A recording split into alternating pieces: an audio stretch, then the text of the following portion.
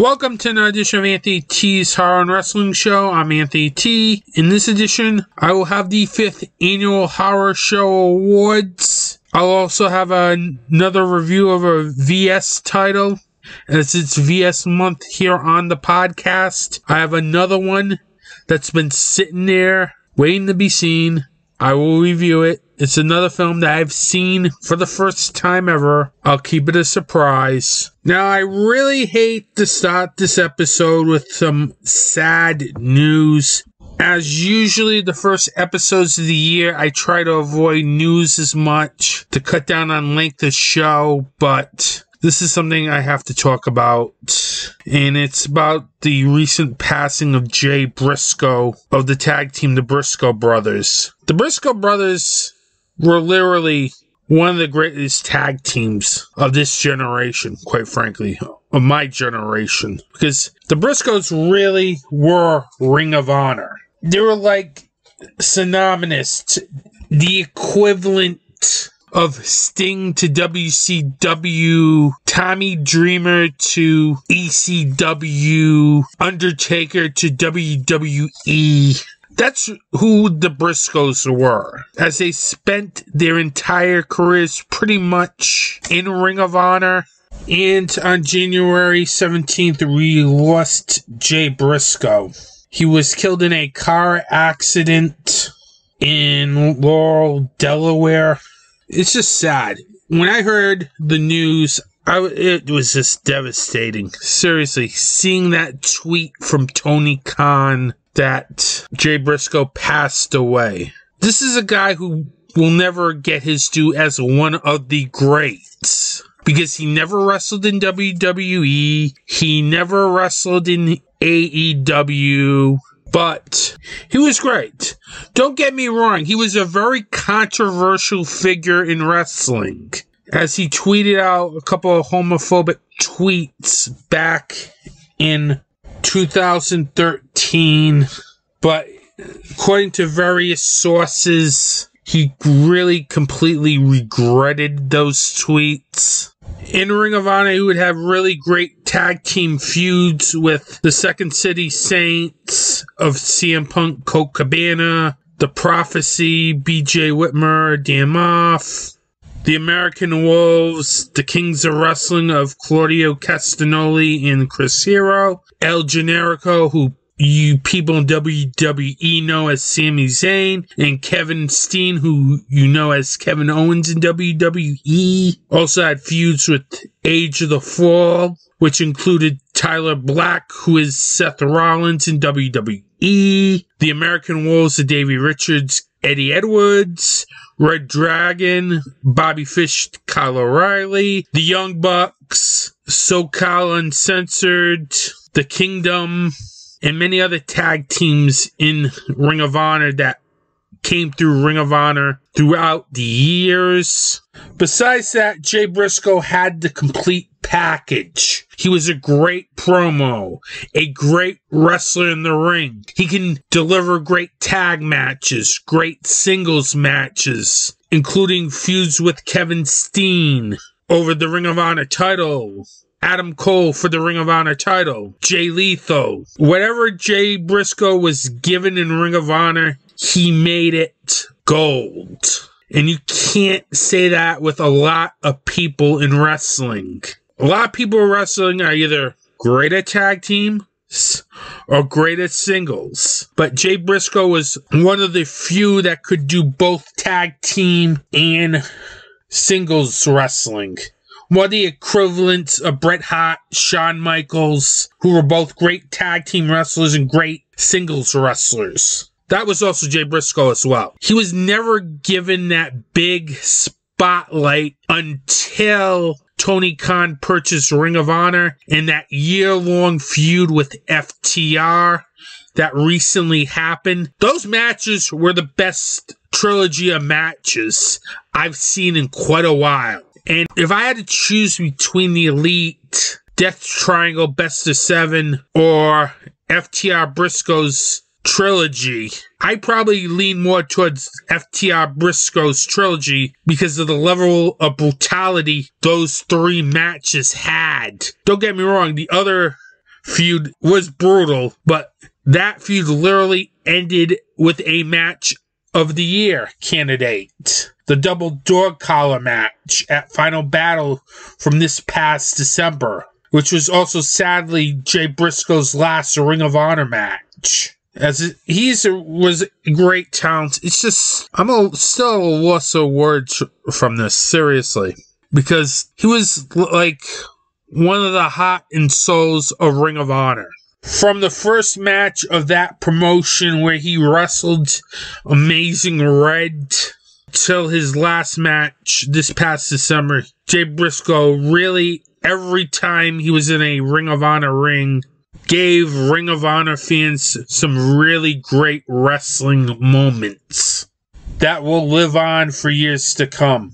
Considering that Tony Khan owns Ring of Honor and you have Honor Club, as he's really had some great matches in that promotion, including a match against his brother Mark Briscoe at the first year anniversary show, tagging with his brother against Samoa Joe and Homicide at Motor City Madness 2006, where that match is completely one of the most insane Briscoe matches you'll ever see to his Supercard of Honor 7 win against Kevin Steen to his Final Battle 2016 match with Adam Cole where he regained the Ring of Honor World title as he's won the title twice as a singles wrestler while also being in a tag team with his brother too.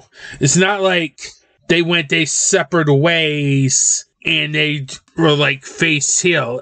They're literally both faces at the time when Jay Briscoe was winning those titles. But those were, I think, great moments in Ring of Honor history.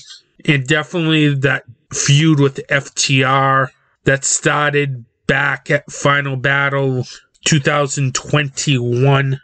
Jay Briscoe is definitely a talent I think will be missed very much in Ring of Honor, as he was literally one of their best talents. It's sad that he was taken away from us at the age of 38.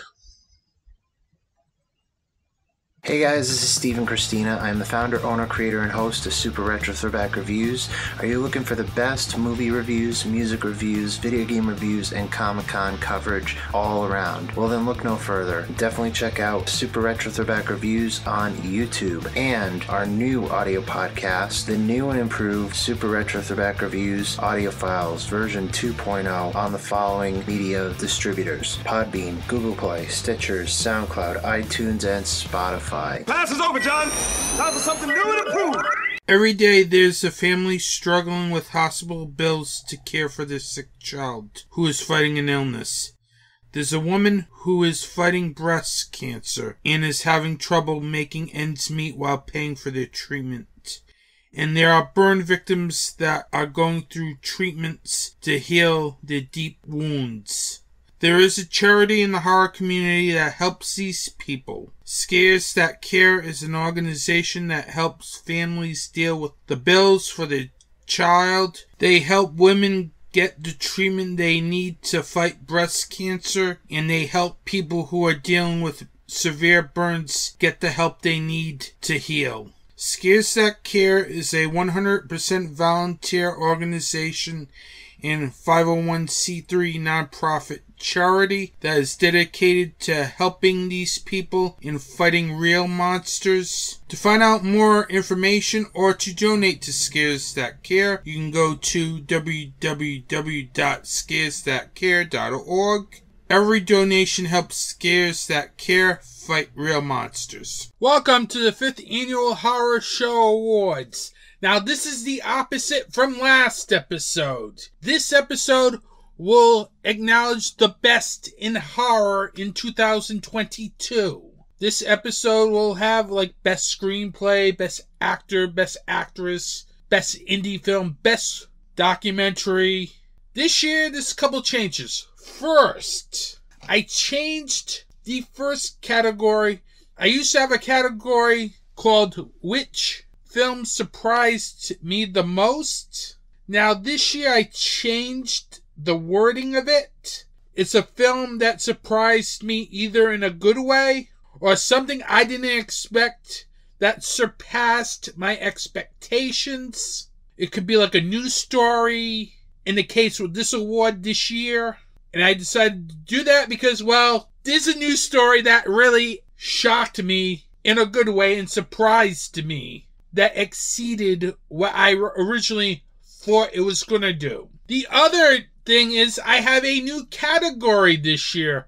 Best foreign horror film. Now, this is a category that can be either a British horror film or a foreign language horror film. I figured since I'm seeing like three, four of these a year, I might as well create a category because with Shudder releasing a lot of foreign horror film, and you now get Screambox releasing foreign horror films, that I think that's going to be a common fixture here on going forward with my horror viewing.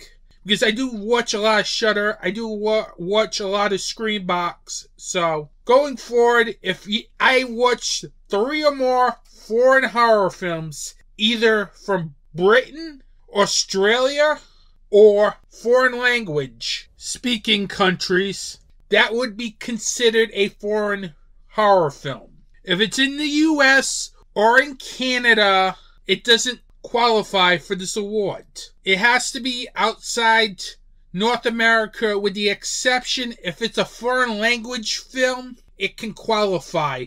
Say if the foreign language film came from Mexico, it qualifies because it was spoken in a foreign language besides English. So any films in North America that are English speaking do not qualify for this category. With that, let's start the fifth annual Horror Show Awards. The first award, film that surprised me in a good way, either in something I didn't expect or a film that surpassed my expectations. Last year, I chose any of the Fear Street films released on Netflix. The 2022 Horror Show Award for film that surprised me in a good way, either in something I didn't expect or film that surpassed my expectations, goes to Terrifier 2 making over $10 million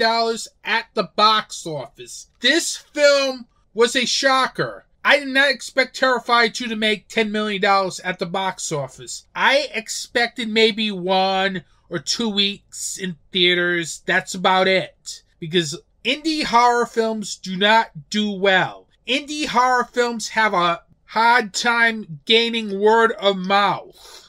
It was amazing what Terrifier 2 did.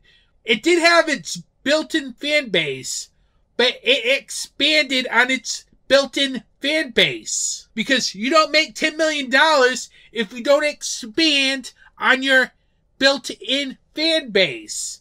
And this film was in theaters for like six, seven weeks. It was just amazing to see this film in theaters for that long, even if it's being shown at night only. This film accomplished something that no indie horror film has done in years. And this was without any major advertising or any major backing.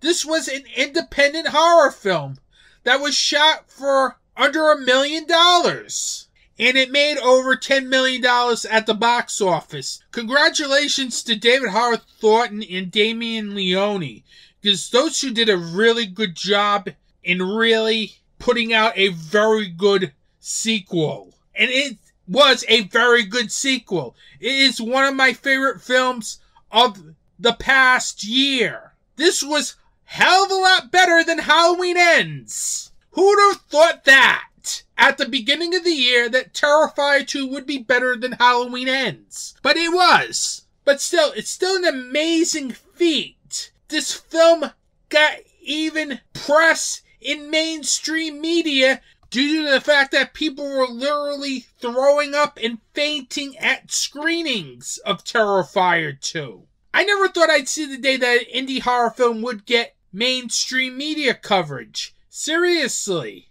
Even though it's for the wrong reasons, but still, it got the curiosity factor to get people into the theaters. it's just amazing that Terrifier 2 made over $10 million at the box office. It just is. And that's why it surprised me and exceeded in my expectations. Next award, Best Score. Last year, I had New York Ninja. The 2022 Horror Show Award for Best Score goes to Dark Glasses, the Dario Argento film. One of the main reasons why Dark Glasses is very good and why I like this film a lot was the score. The score had this giallo type feel that is needed for a giallo film to succeed.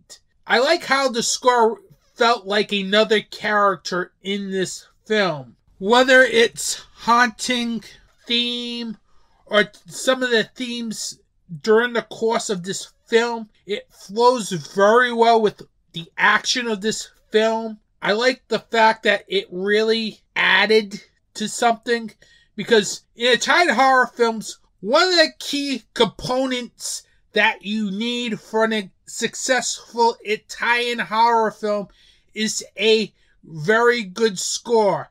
And this film had that. It elevated this film. It got me interested more in the action because sometimes you need a score to help move the action along, especially in that third act of that film. And for a foreign film like that, you need a good score. This film has it. It helped kept the suspense level up. And that's why Dark Glasses wins Best Score.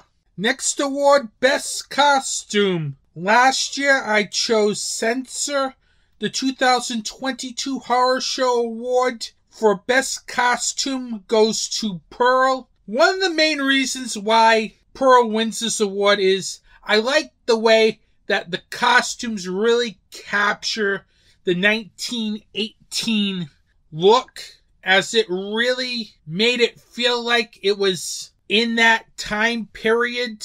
I like how whoever did the costumes for this film made sure that they took the time and the effort to have the costumes really have that 1918 look to it in which the film is set. It really helps with the time period the film is supposedly taking place in, and it really added to this film a lot because the look of the costumes were just great. And for a period piece like Pearl, you need the costumes to look great.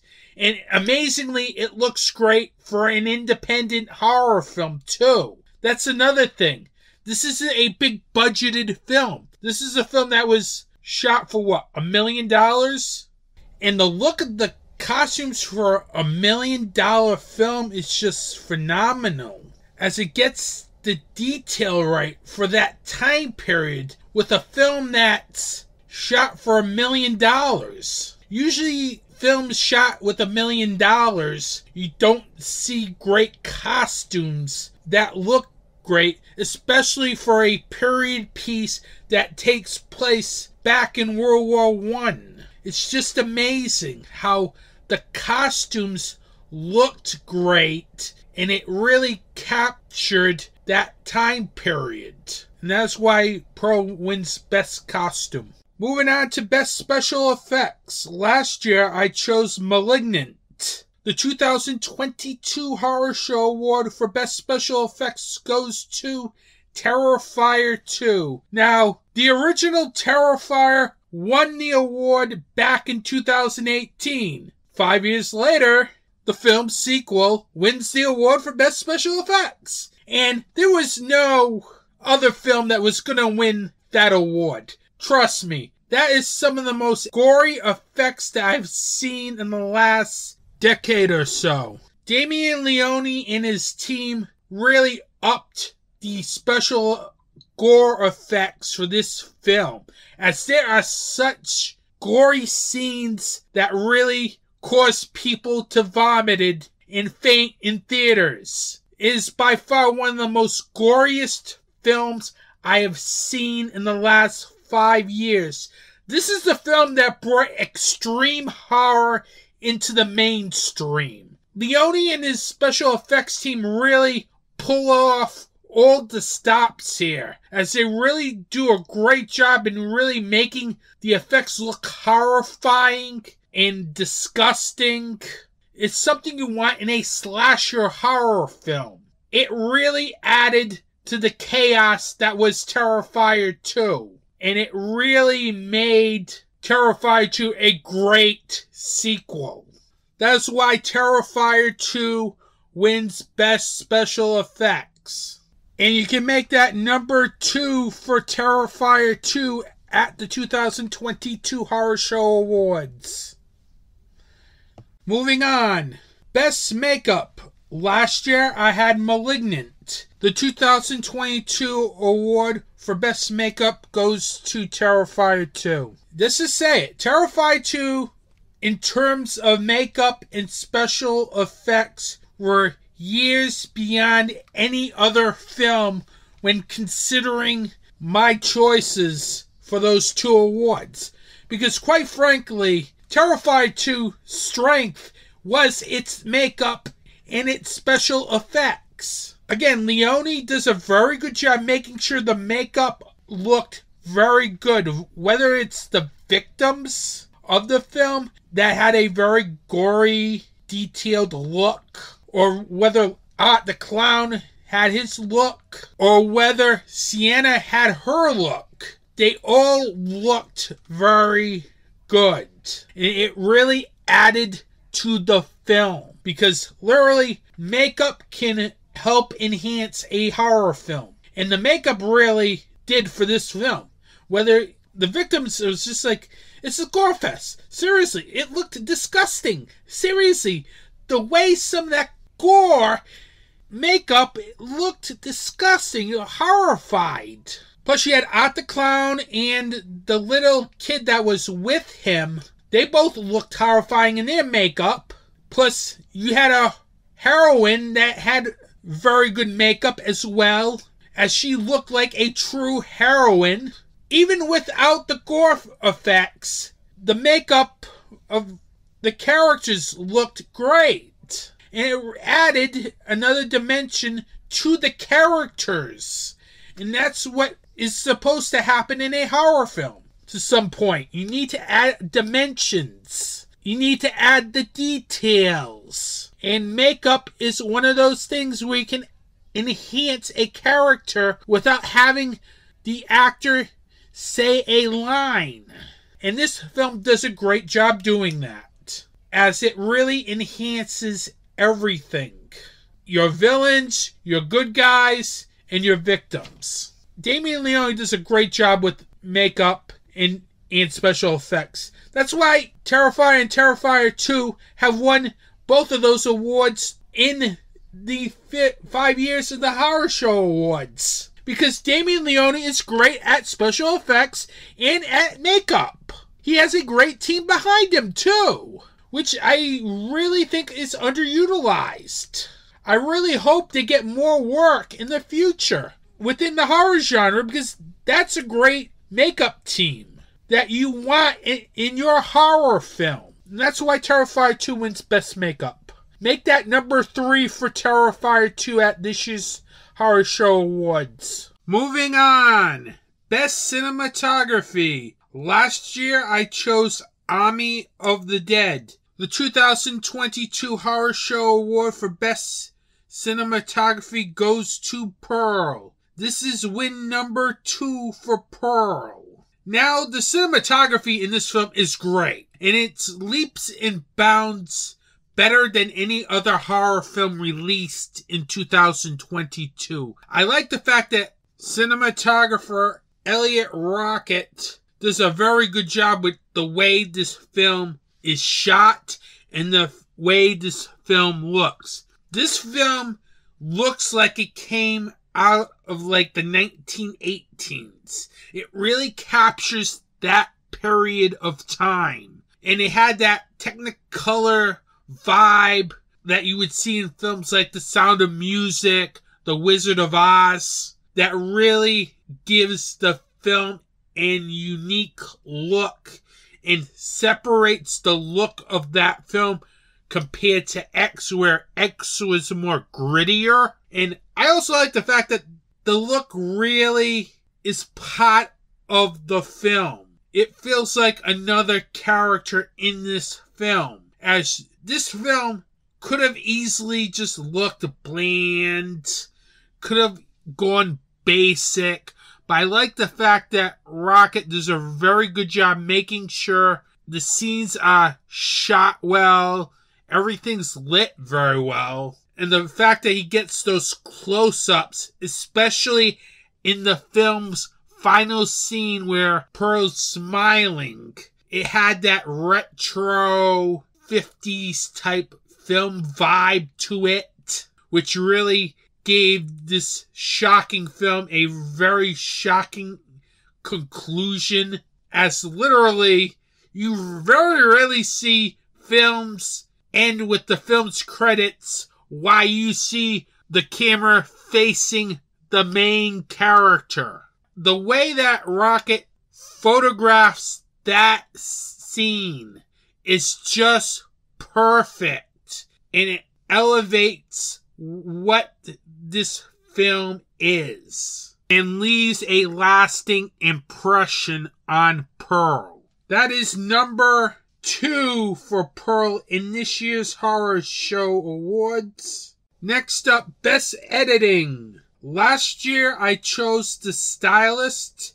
The 2022 Horror Show Award for Best Editing goes to Pearl. Make that number three for Pearl at this year's Horror Show Awards. Now, the editing in this film is just great because this film moves at a very good pace. Whether it's the decisions the editor makes, including letting a 10 minute monologue just stand as is to that nice dance sequence in which Pearl is auditioning for to some of the kill scenes in the film. Everything's edited in a way that keeps everything moving. I like the fact that the editor does a very good job in this film, making sure that it has a rhythm, as this film never seems to have a dull moment. As this pace of this film is just good. I like how the editor also makes sure that that there isn't much dead space. This, as every scene felt like it was needed in this film. There was never a scene in this film where I could say, oh, I wish that was edited out. As I think the editor really did a great job in making sure that the scenes are cut down right. He makes sure the action is flowing. And like I said, let that 10 minute monologue scene stay as is because that 10 minute monologue scene is quite frankly the best part of this film. Make that number three for Pearl at this year's Horror Show Awards. Next category Best Documentary. Now, this is a category, if I see three or more documentaries, it becomes an active category in the Horror Show Awards. Last year, I chose Clapboard Jungle the 2022 Horror Show Award for Best Documentary goes to Pennywise, the story of it. Now, this is a documentary that focuses on the original It, not the recent It. This documentary has pretty much almost all the original living cast members from the 1990 TV movie. I like how the documentary really goes into the production of the miniseries. I like how directors John Campopiano and Chris Griffiths do a very good job making sure that they get a lot of really good information on the making of this film. I was fascinated by some of the stories that were told in this documentary about the making of it, the miniseries. And I also like the fact that it really got a lot of its original cast members, including Tim Curry, Richard Thomas, Richard Masur, Dennis Christopher, Tim Reid, and more. As it really made this documentary very entertaining as about learning the history of this miniseries. Let's get to the new category in this year's Horror Show Awards Best Foreign Film. I told you in the beginning that we will be doing a foreign film category since I tend to see more than three foreign films every year, so it would be fair to do a foreign film category here on the Horror Show Awards. As long as I see three or more foreign films, it will be an active category, just like Best Documentary. And the 2022 Horror Show Award for Best Foreign Horror Film goes to Dario Argento's Dark Glasses. Now, Dark Glasses literally was a return to form for Dario Argento. As for years, he's done some mediocre films, but I really think Dark Glasses is probably his best film since Opera, and that's been a very long time. One of the reasons why I liked this film a lot is this film was suspenseful from the get go. Argento really does a very good job with the way he directs this film. He directs this film in a way where this film, you're kept on edge throughout. It had like an intense feel to it, which is very good. His last two films, Giallo, which was flat out awful, and Dracula 3D, which is pretty much a guilty pleasure film at best. Even though I loved Dracula 3D, that's more of a guilty pleasure film. But Dark Glasses is probably one of his most serious films in years. He also has a very good screenplay, too. I like the fact that he and Franco Ferrini did a great job making sure it developed its main character throughout the film. I like how it develops the trauma that the main character is going through and the fact that they deliver a killer third act, which made this suspenseful. And it also had a very good score too to go along with the action, which is key for a Giallo film. As Dark Glasses is literally Dario Argento's best film in years. A lot of people might be sleeping on this film, but Dark Glasses is very good. Make that number two for Dark Glasses in this year's Horror Show Awards. Next up, Best Screenplay. Last year I chose The Stylist. The 2022 Horror Show Award for Best Screenplay goes to Pearl. The screenplay for this film was just great, quite frankly. I really love how this screenplay really does a great job focusing on the psychology of Pearl, who was in X, as this is a prequel from X. Ti West and Mia Goth did a great job in making sure that they created a screenplay that focuses on a character's descent into madness. They do a great job with the way they write the dialogue for this film. This screenplay even has a great 10 minute monologue, which is probably one of the highlights of 2022. They also do a great job focusing on Pearl's relationship with her family. They do a great job focusing on how Pearl is just obsessed with becoming a star. Both Goth and West really did a great job in making sure that there's dialogue that keeps the flow of this film moving along. As you don't get many kill scenes in this film, so you need dialogue to move the story along, and they do a great job doing that it really kept me interested with what was going on in this film because, quite frankly, if those dialogue scenes weren't written well, then we'd probably be talking about a different movie here. But I like how they focus more on the dramatic aspects, which made this entertaining. The screenplay is just perfect. It really helped made this film very good.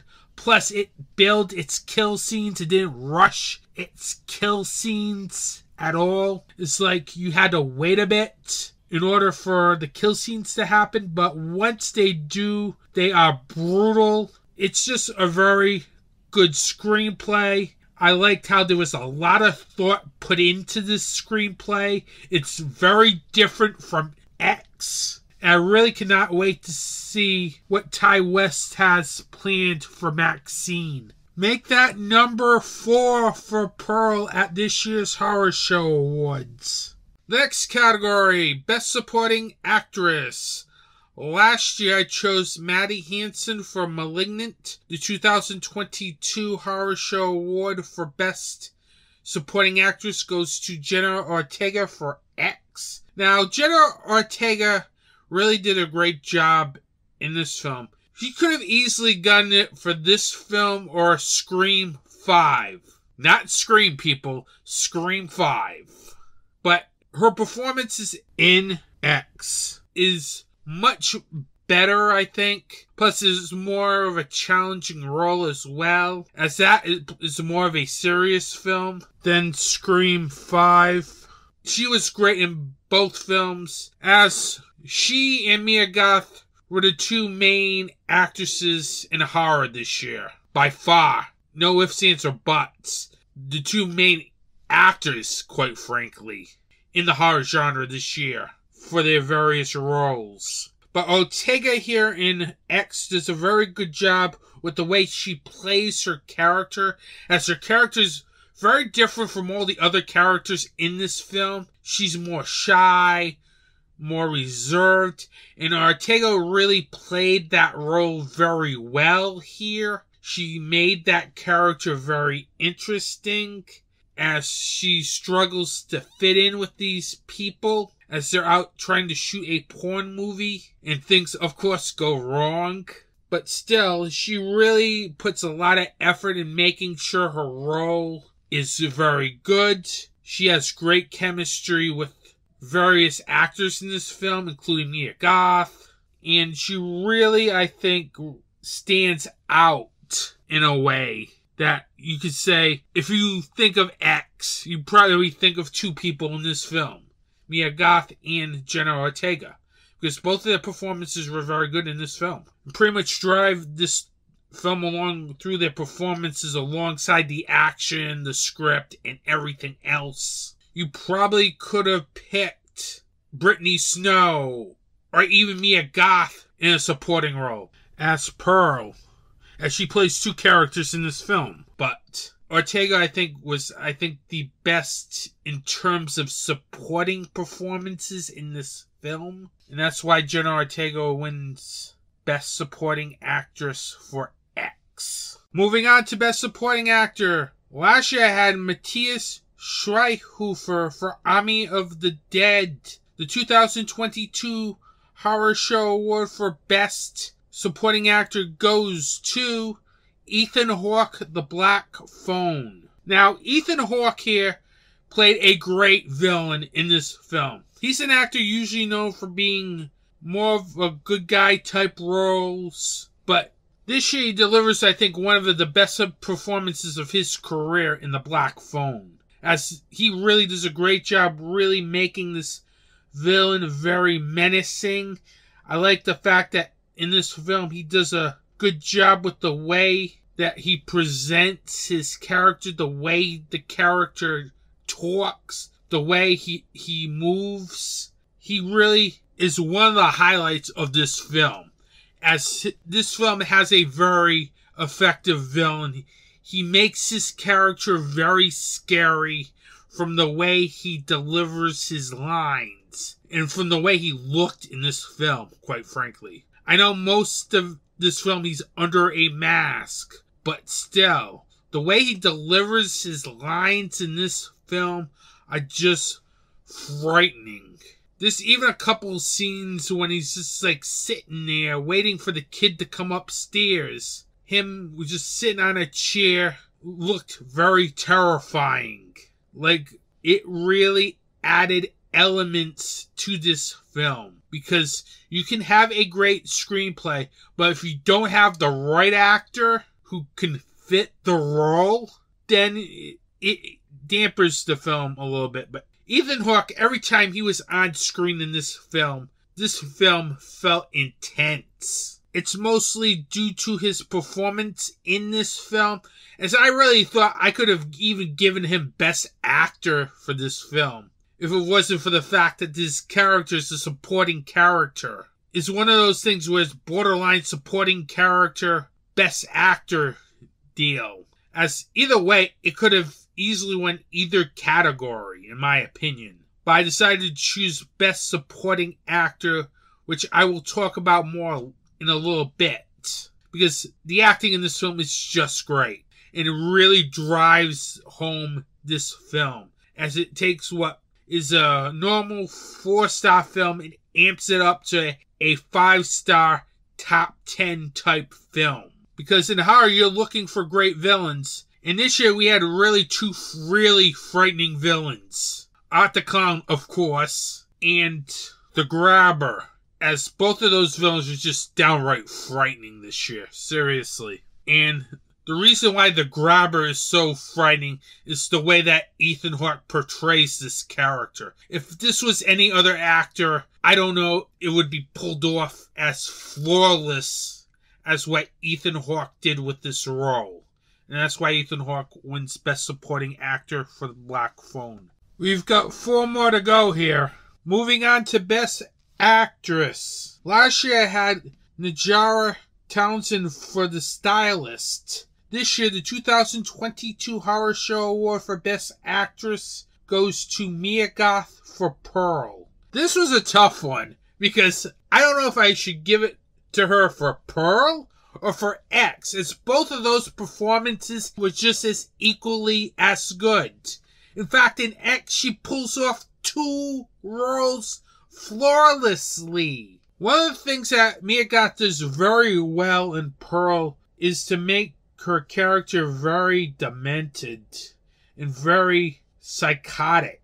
She really captures the essence of that character whether the way she's speaking to the way that she approaches her scenes in this film are just great. It just kept my interest in this film throughout. She also has some really standout scenes in this film, including this dance scene that really makes this film good. She really performed the dance very well. It made it one of the highlights of this film, as you had that, then the rejection, then that great long monologue in which she really captures the attention of the screen. It's just great. She really makes Pearl an interesting character, whether it was in this film or in X she really played this character very well and really makes this film very entertaining given the fact that it's completely different from X and it's more of a slow burn compared to X. But it's her performance that just keeps this film going and makes you interested in her character and you need an actress of that caliber for a challenging role, as this was a challenging role because of the things she had to do in this film. And she did it very well. And that's why Mia Goth wins Best Actress for Pearl. Make that number five for Pearl in this year's Horror Show Awards. Next award, Best Actor. Last year I had Gary Green for Fried Barry. The 2022 Horror Show Award for Best Actor goes to Mason Thames for The Black Phone. You couldn't tell the fact that this kid only had a few credits to his name with the way he pulls off his performance in The Black Phone. Because usually kids' performances aren't as good, but Mason Thames' performance is great in this film. He's only been like in a few sh- short films. That's about it before the Black Phone. And it's just amazing that he's able to pull this great performance in this film.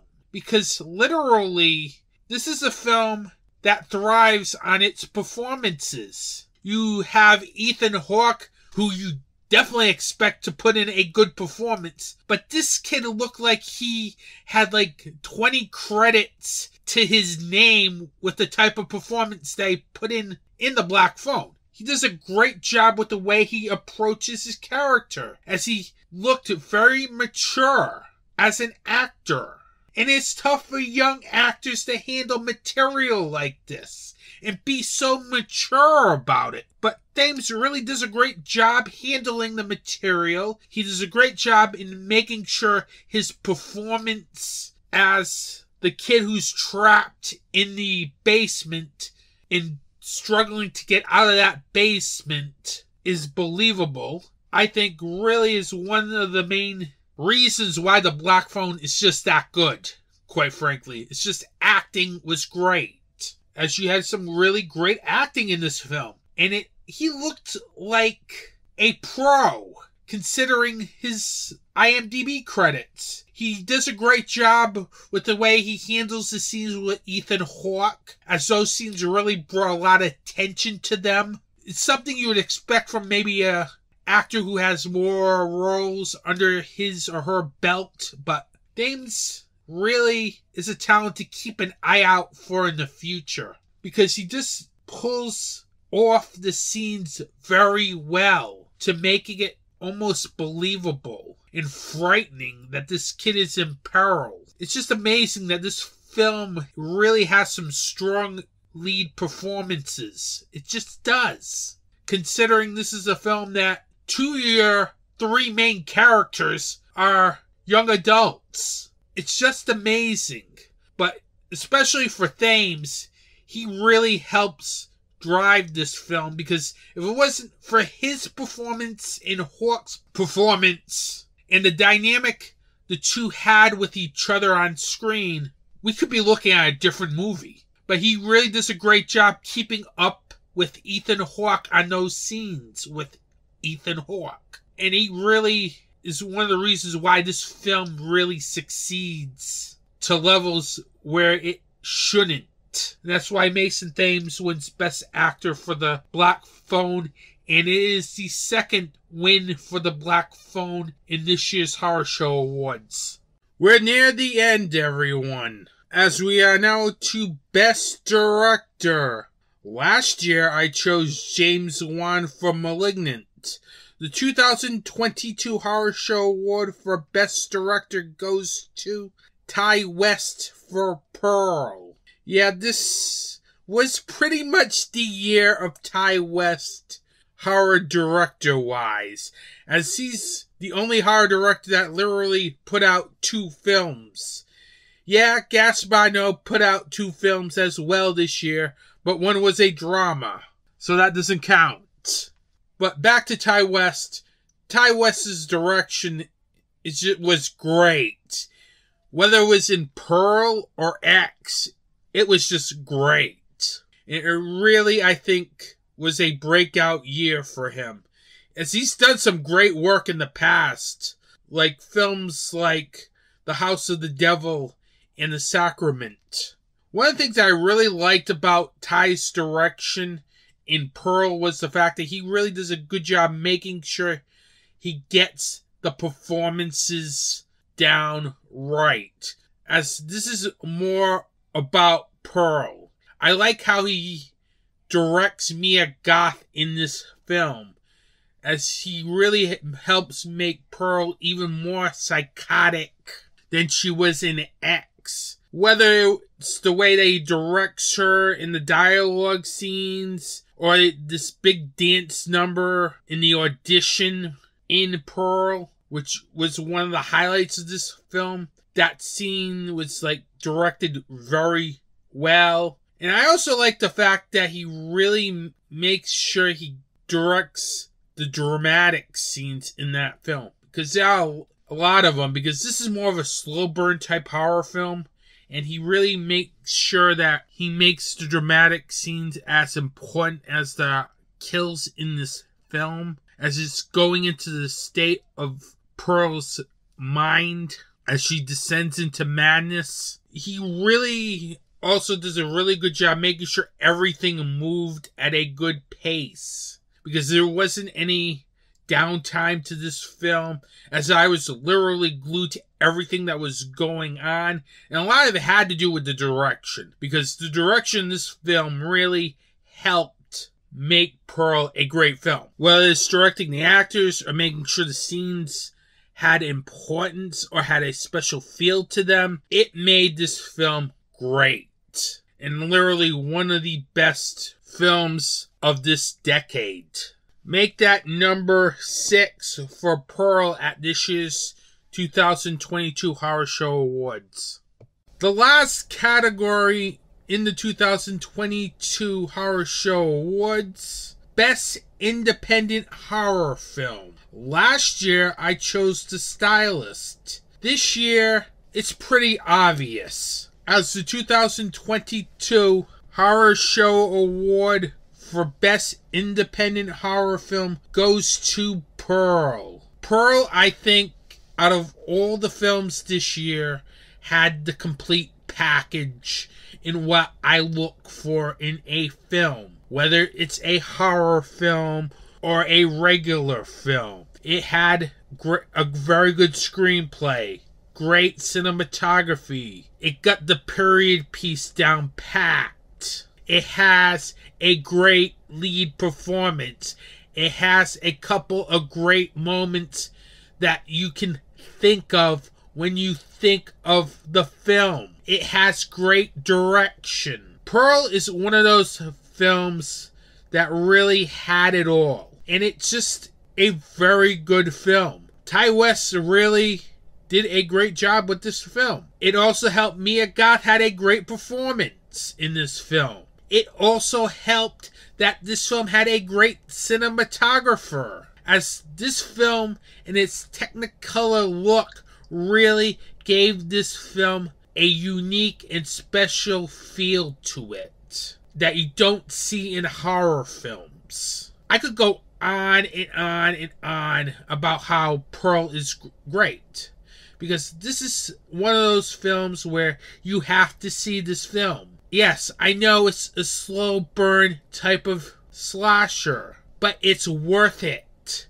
for the performances, for the direction, for the scenes. That's what made Pearl special this year and made it above X. While X was more grittier and more akin to the horror genre, Pearl had the more overall package in filmmaking, in serious tone, everything that really made that film great. And that is why Pearl wins Best Independent Horror Film. Make it number seven for Pearl at this year's Horror Show Awards. Now, I only have Best Film to give out. You'll have to wait next episode as I'll bring on a guest or two to talk about the top 10 films of 2022. So you'll have to wait next episode for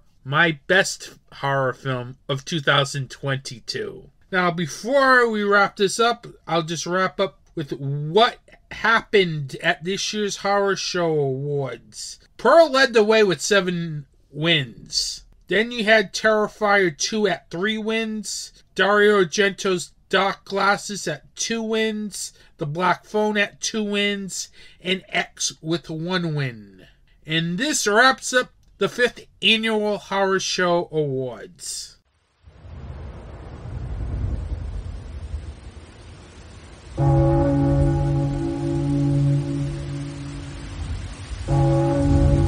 Welcome to Dark Discussions, your place for the discussion of horror film, fiction, and all that's fantastic a weekly podcast where the discussion is about the most recent horror and genre films. Intelligent talk on a genre that deserves intelligence. A conversation between co-hosts discussing not only the film, but also the connotation that the directors and screenwriters are trying to articulate. When you want more than a review, listen to Dark Discussions. And speaking of perception, there's just one more scene I want to talk about, which is after Caleb discovers that Kyoko's a robot. Kyoko kind of peels off her skin, showing him what's underneath. Now, wait a minute. I know where you're going with this, but tell me you weren't already thinking this 15 minutes earlier in the film. Exactly what he's thinking at that moment. Which is he's a robot too. Oh, I considered the possibility. Right, and that's what I like, is the fact that the writers were smart enough to know that this is what the audience would be thinking. We've all seen Blade Runner. right, exactly. www.darkdiscussions.com, wherever podcasts are found.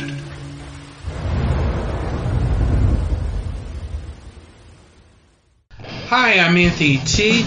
And I'm director Andrew Duran, and we are the Two, Two from, from Hell. and we're putting Rated R back into podcasting. Every month we will be dropping an episode on the Dark Discussions Network. We'll be chatting about some of our favorite films, news, reviews, and maybe interviews. You can find Two from Hell on Apple Podcasts, Google Podcasts, Spotify, and other podcast providers. And don't forget to like us on Facebook and Instagram at Two from Hell Podcast. Trust me, you're seriously not going to want to miss the show. You'll find Anthony T's horror and wrestling show on these social media platforms on Facebook, Instagram, and the Slasher app at Anthony T's Horror and Wrestling, and on Twitter at Anthony Horror. You'll find new episodes on darkdiscussions.com, major podcast providers, and YouTube.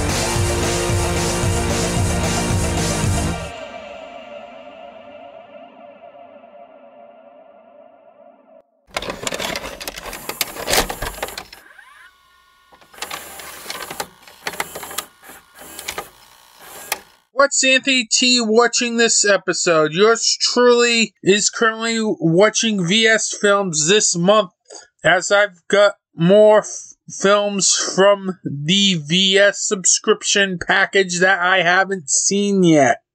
Case in point, The Incredible Melting Man. Yes, if that sounds like a dr- film for a drive-in title, it is that type of a film. The Incredible Melting Man.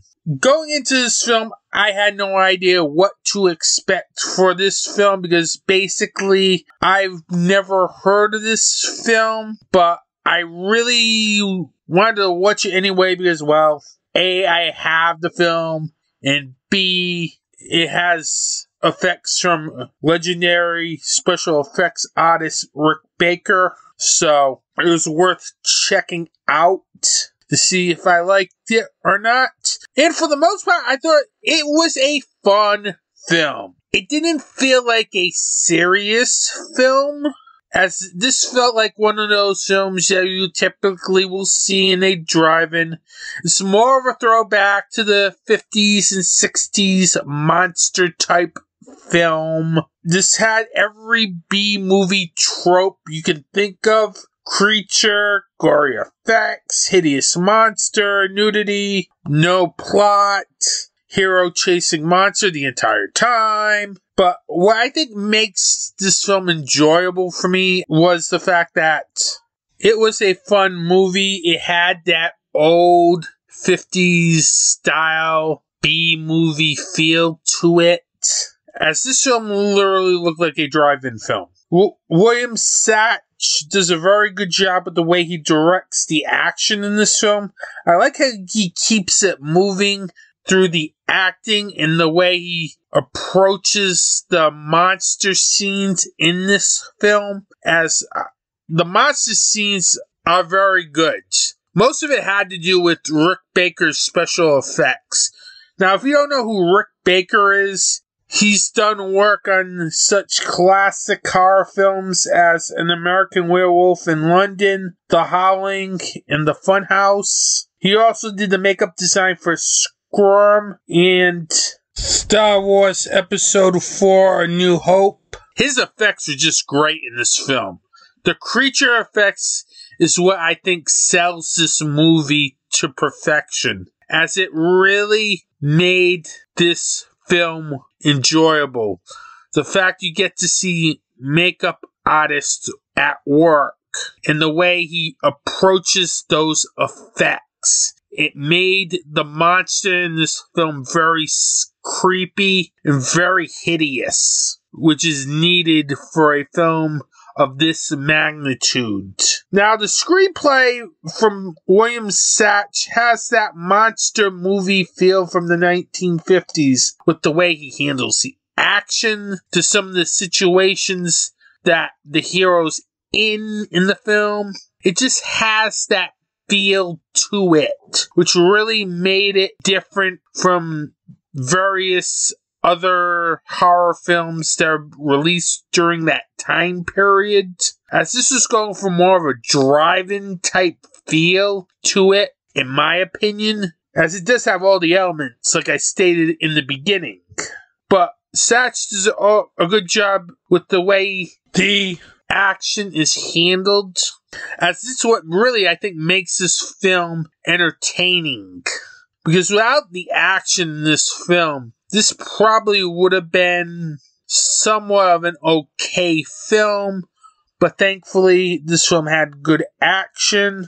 One of the things I wished for in this film was maybe the monster to be mysterious a little more. Maybe to- not find out until the end of the film what was going on with this monster.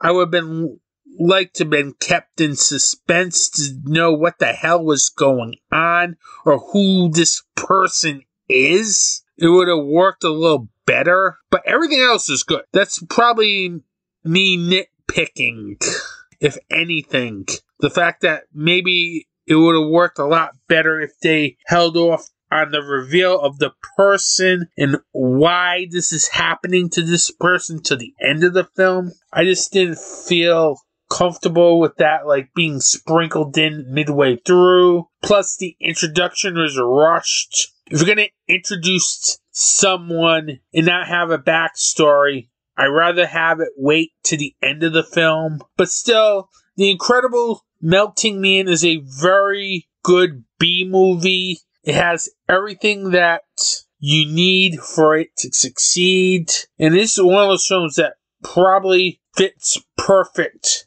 when you're seeing a film at the drive-in. Don't forget, you can catch the latest episode of Two from Hell Movie Podcast as yours truly and Andrew are joined with Joshua Darlin from Horror Depot as we talk about modern slashers versus retro slashers. Check out that episode as this month's episode of Two from Hell Movie Podcast is completely off the wall. So you can check that out whether on Apple Podcasts, Google Podcasts, Spotify, or the Dark Discussions Network. On the next episode of Anthony T's Horror and Wrestling Show, I will be doing the best of 2022 episode. That means I will be joined by guests as we will count down the top 10 films of 2022. As this year I brought on Elizabeth Gray and Nathan Hamilton from Archivist Bet on Sexy Witches, which can be found on Blog Talk Radio. The three of us will talk about our top 10 favorite genre films of 2022. With that, I want to thank you for listening to this podcast. Don't forget to like, subscribe to this podcast on Apple Podcasts, Google Podcasts, Spotify, Stitcher, don't forget to like Film Arcade Media on YouTube.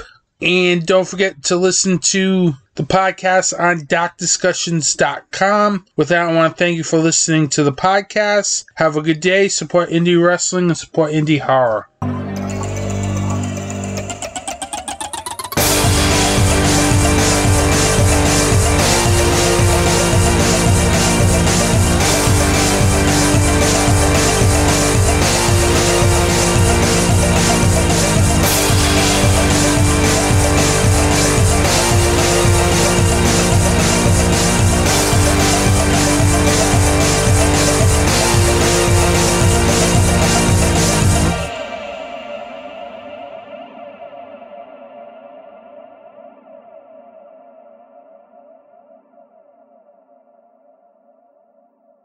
This has been a Film Arcade Media production.